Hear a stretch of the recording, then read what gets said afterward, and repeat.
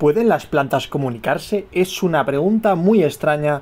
Siempre hemos dado por hecho que las plantas no se pueden comunicar, pero en el vídeo de hoy os voy a sorprender con una serie de datos que seguramente os dejen pensando. Así que dentro con el vídeo. En primer lugar, las plantas pueden tener una comunicación química, es decir, pueden liberar compuestos químicos en el aire cuando están bajo estrés, así como cuando están siendo atacadas por insectos. Estos compuestos pueden actuar como señales de alarma para otras plantas cercanas, advirtiéndoles sobre la amenaza. Pueden comunicarse a través de las raíces, y es que pueden liberar sustancias químicas en el suelo que afectan a otras plantas cercanas, ya sea inhibiendo su crecimiento o mejorando la resistencia a enfermedades. Además, pueden detectar y responder a diferentes longitudes de onda de luz. Por ejemplo, cuando una planta está sombreada por otra, puede crecer más alto para alcanzar la luz. Esto es posible gracias a los fitocromos, proteínas sensibles a la luz que desencadenan respuestas de crecimiento. Pueden generar señales eléctricas en respuesta a estímulos, como tocar sus ojos. Estas señales pueden viajar a través de la planta y desencadenar respuestas de defensa.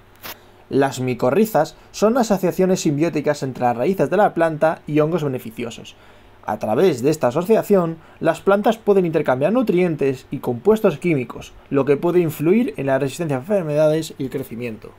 Y se ha descubierto que algunas plantas responden a las vibraciones, como el sonido del viento o el tacto. Estas respuestas pueden incluir cambios en la tasa de crecimiento y en la producción de compuestos químicos pueden comunicarse con polinizadores a través de colores, formas, aromas específicos, incluso pueden ajustar su producción de néctar según la hora del día para atraer a los diferentes polinizadores. Además, tiene memoria celular, es decir, las plantas pueden recordar situaciones de estrés pasadas y ajustar sus respuestas en el futuro en función de esas experiencias. Como conclusión, hay muchos avances científicos sobre la comunicación en las plantas para interactuar con su entorno y entre sí. Es un tema que se está investigando, emergente en la biología, y que seguramente nos traiga a más de uno un debate sobre las plantas. Así que, si os ha gustado, os recomiendo más vídeos del canal, que os suscribáis y estéis pendientes. Un saludo.